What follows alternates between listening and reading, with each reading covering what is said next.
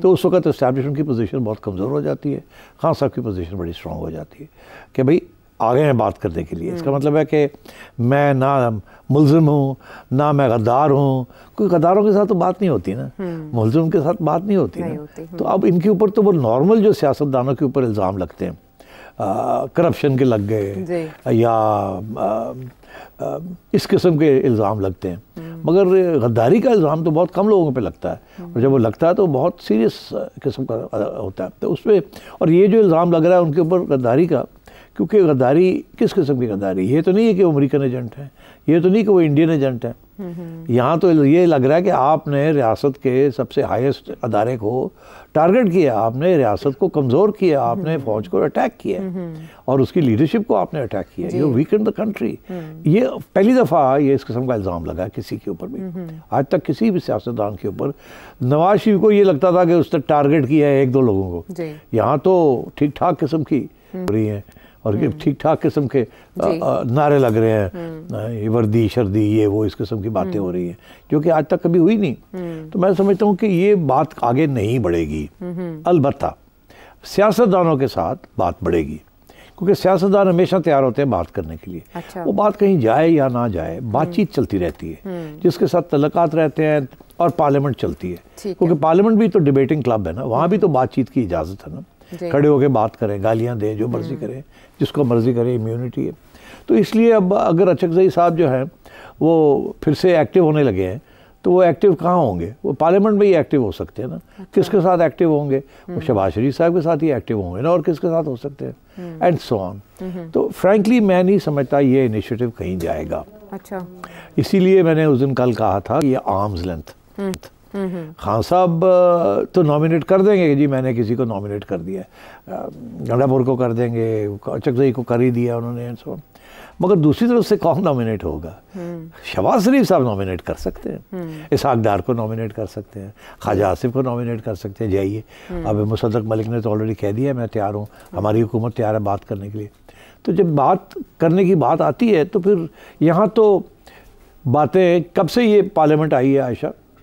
कितने महीने हो गए इनको? मार्च में हाँ, तो समझे पाँच। छः पाँच महीने हो गए। जी। पाँच महीनों में इन्होंने आपस से बैठ चीत पीटीआई बैठी हुई है ना? ऑपोजिशन लीडर है ना पीटीआई? तो क्या उनके साथ बैठ के जो कमेटीज बननी थी हम्म। जो पार्लियामेंट की झगड़ा रहा। उसके ऊपर नहीं अभी तक फैसले हुए कि कौन सी कमेटी पे कौन बैठेगा और कौन नहीं हम्म। बैठेगा। तो ये अगर ये आम नॉर्मल रूटीन का काम है जो पार्लियामेंट का हम्म। जिसके अंदर थर्टी के करीब पार्लियामेंट्री कमेटीज़ बनती हैं ऑडिट कमेटी बनती है फलानी कमेटी बनती है ये बनती वो भी नहीं भी बन सकी हम्म। इतफाक नहीं हो रहा। तो ये बात इलेक्शन फिर से ये करें ये कैसे होगी? हाँ। तो मुझे यही लगता है कि ये जैसे मैंने पहले कहा हम्म। कि कोई इस किस्म की पेशकदमी कामयाब नहीं होगी हम्म, पहली बात। दूसरी बात ये कि कोई ऑप्शन नहीं है मैं फिर से रिपीट कर रहा हूँ।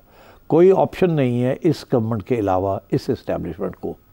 इस इस्टेब्लिशमेंट और इस ये जो गवर्नमेंट है उन्होंने जप्पी डाली हुई एक दूसरे हम्म। जिस दिन जप्पी टूटी तो दोनों गए। अच्छा यानी लाइफ लाइन है एक दूसरे की। एक दूसरे की लेकिन इस ब्रीदिंग स्पेस को ढूँढने की वजह नहीं समझ आ रही कि needs to yes. save its nose breathing space चाहिए to get the economy moving ताकि दुनिया देखे कि स्टेबिलिटी आ गई है। अच्छा। अभी इस वक्त क्या प्रॉब्लम आ रही है? जो सऊदी अरेबिया ने वादा किया था जो यू ने वादा किया था जो चाइना ने वादा किया था जो और लोगों ने वादे किए थे हम्म। अरबों रुपए की बात हो रही थी वो क्यों नहीं आ रही? हम्म।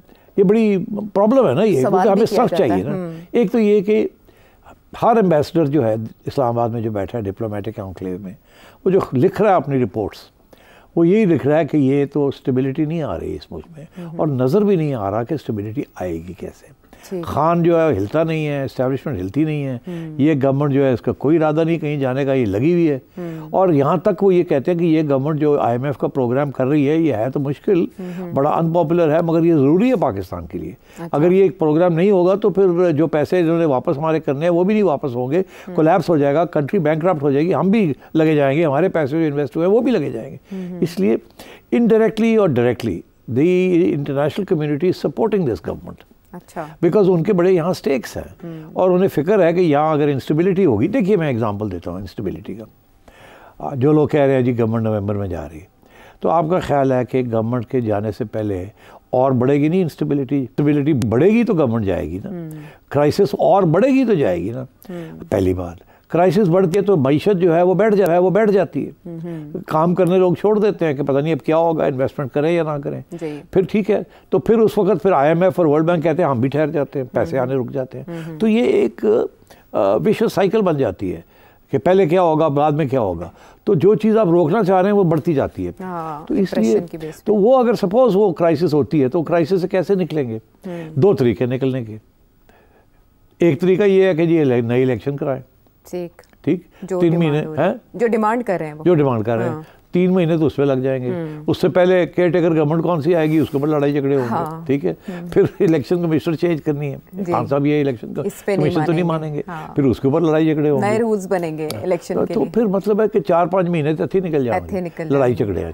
और उधर से इकोनॉमी बैठ रही होगी। और उधर से इस्टेब्लिशमेंट के अंदर बड़ा गुस्सा बढ़ रहा होगा हम्म। कि हम तो इस्टेब्लिश हम तो इकोनॉमी को बचाने आए हैं। बिकॉज़ इकोनॉमी ना रही तो कोई भी नहीं रहेगा ना हम रहेंगे ना ये रहेंगे कुछ भी नहीं रहेगा। तो that is why it is not going to be easy कि इस गवर्नमेंट को चेंज किया जाए अच्छा। एक ही ऑप्शन है कि ये पाँच साल हम्म। जैसे भी है बाय हुक और बाय क्रुक ये गवर्नमेंट चले इकोनॉमी को स्टेबलाइज करे ठीक है हम्म। आवाम के लिए बाद में जाके कोई थोड़ी सी ईज ऑफ़ हो अच्छा। ठीक है आर्मी के अंदर जो इस वक्त बेचैनी क्रिएट करने की कोशिश की जा रही है उसको ख़त्म किया जाए फॉरेन हम्म। रिलेशंस ठीक किए जाएँ ये बहुत बड़ा एक एजेंडा इशू है हम्म। अगर आप इसको अभी अधूरा छोड़ देंगे या एड्रेस ही नहीं करेंगे क्योंकि खान साहब को अकोमोडेट करना है हम्म। तो ये सबके गले पड़ जाएगी बात हम्म। अब यही इश्यूज़ हैं this is why I feel कि खान साहब की जो डिमांड है जितनी भी लिजिटमेट हो कि इलेक्शन चोरी हो गई ये हो गया वो हो गया तो वो उतनी ही लिजिटमेट है जितनी कि 2018 की इलेक्शन चोरी हुई थी।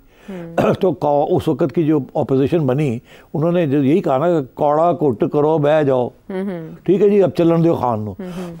खान साहब तो आसानी के साथ पाँच साल काट सकते थे। जी। तो उन्होंने तो हरकतें जिस किस्म की करनी शुरू कर दी तो वो तो बहाल ऐसी किसी सपोर्ट किसी गवर्नमेंट को नहीं मिला जितना खान साहब की गवर्नमेंट को इस्टेब्लिशमेंट ने सपोर्ट दिया। अब उन्होंने अपना काम ख़राब कर लिया एक ज़िद की वजह से। हम्म। तो अब बात यह है कि क्या ही विल बी अलाउड और to come back by this opposition and by this establishment no until and unless there is a change in the establishment short of that they will be no change in the politics of this country वो किसी सूरत में नज़र नहीं आ रहा hmm. कि वो कैसे होगा क्यों होगा उसके बाद क्या नए रूल्स बनेंगे नहीं बनेंगे और जो खतरा नज़र आता है वो यही आता है हम्म। कि ये कि ये समझते हैं हम इलेक्शन की तरफ़ जा रहे हैं मैं समझता हूँ कि इक्वल चांसेस हैं कि आप उसके बिल्कुल बरक्स किसी सड़क पर चल पड़े हाँ। जो कि बहुत ही ख़तरनाक होगी आप इलेक्शन मांग रहे हैं मोर फ्रीडम मांग रहे हैं यहाँ तो हम्म। दिन ब दिन पोलिटिकल स्पेस कम होती जा रही है क्रैकडाउन चलने शुरू हो गए हैं इंटरनेट हम्म। के ऊपर पाबंदियाँ लगनी शुरू हो गई हैं इन्फॉर्मेशन के ऊपर पाबंदियाँ लगनी शुरू हो गई हैं नए कानून बनने शुरू हो गए हैं तो वे विल दिस एंड तो इसलिए मैं समझता हूँ कि रियलिस्टिक अगर कोई पोजिशन है तो वो खान साहब को पहल करनी पड़ेगी। खान साहब को अपने सपोर्टर्स का कहना पड़ेगा कि लेट वी विल जैसे नवाज़ शरीफ ने हम्म। जिन्होंने कहते ना कौड़ा कोट करके क्या जी चलो सर्वाइवल इज़ मोर इंपॉर्टेंट बाद में हम डील कर लेंगे। ये डील करके तो सर्वाइवल करते हैं। तो खान साहब को भी कोई डील करनी पड़ेगी as a politician not as a revolutionary तो ये रेवोल्यूशनरी सिचुएशन नहीं है ये अनारकी की सिचुएशन है। हम्म। ये एंटी इस्टेब्लिशमेंट सिचुएशन नहीं है ये प्रो इस्टेब्लिशमेंट कौन बनेगा? वो कहते हैं ना कौन बनेगा करोड़पति? कौन बनेगा इस्टेब्लिशमेंट का बेस्ट फ्रेंड मुख्यमंत्री हाँ अच्छा ये सिचुएशन अच्छा सिर साहब आपने अपने एनालिसिस में कहा था कि रिलैक्सेशन मांगी जाएँगी दोनों तरफ़ से जिनमें से एक रिलैक्सेशन ये भी हो सकती है मुमकिन तौर पर कि इमरान खान साहब की रिहाई का मुतालबा किया जाए फिर उन्हें नज़रबंद कर दिया जाए उनकी रिहाइश गाह पर ये पाकिस्तान तहरीक इंसाफ के लिए एक बहुत बड़ा एज होगा कि उनके लीडर बाहर आ जाएँगे। अब ये आपकी बात बहुत से एनालिसिस में भी आ रही है, लेकिन मुख्तलिफ़ फार्मूले हर कोई अपने अपने फार्मूले लेकर मार्केट में आया कि कौमी हुकूमत बननी चाहिए, जिसमें पाकिस्तान तहरीक इंसाफ के नुमाइंदे भी हों, इमरान खान साहब बेशक ना हो, जो थोड़े अरसे के लिए काम चला लें। इमरान खान साहब की मजबूरी ये है कि आपने कहा सारा पोलिटिकल कैपिटल उनकी उस जंग के ऊपर है, जो वो लेकर झंडा चले हैं सिविल सुप्रीमेसी का, लेकिन बिहाइंड क्या है वो आपने अभी बताया। महमूद अचकजई साहब को अपना नुमाइंदा मुकर करना। फिर ख्वाजा आसिफ का एक ट्वीट करके ये बताना कि महमूद अचकजई साहब ने इमरान खान साहब की नुमाइंदगी से इनकार कर दिया। देर इज़ समथिंग फिशी कोई खिचड़ी पक रही है। क्या पाकिस्तान तहरीक इंसाफ को भी सेफ़ पैसेज दिया जा रहा है कि आप महमूद अचकजई साहब के थ्रू आएँ, बैठ के हम बात कर लेते हैं थोड़े अरसे के लिए, इन मामला को इस तरह से चलाते हैं। दोनों तरफ़ ना शहबाज शरीफ साहब उधर से आ रहे हैं, ना उधर से इमरान खान साहब आमने सामने बैठ रहे हैं। तो नवाज़ शरीफ साहब और आसिफ अली जरदारी साहब के होते हुए आपके ख्याल में कोई ऐसा हल निकल सकता है जो इससे पहले नहीं निकला? क्योंकि डिमांड्स तो वही हैं। नहीं गवर्नमेंट तो है, वो तो शबाज शरीफ के पास है।